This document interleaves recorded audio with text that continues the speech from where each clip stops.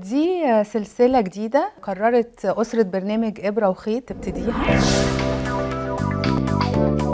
إحنا بنهتم بصحة بلد بحالها. أمور كتيرة في الدنيا اتغيرت في مجال الصحة ومجال الطب. عندي اختيارات كل يوم أنا بعملها. هل بتحرك ولا هل قاعدة باستمرار؟ مجتمع يمكن يتصف بالقدرية. أنا واحدة من الناس اللي جربت فعلا بيحمي من الحوادث. دي علامة خطر. 4000 مادة كيميائية سامة موجودة في التبغ يتعامل معاه إزاي؟ ويتعايش معاه إزاي؟ أنا ليا حقوق عند الدكتور. جالهم جلطة وهم قاعدين على الإنترنت. لما بنسأله عليها يقول ده أنا ما أقدرش أعيش من غيرها. فاذا صحتنا مسؤوليتنا.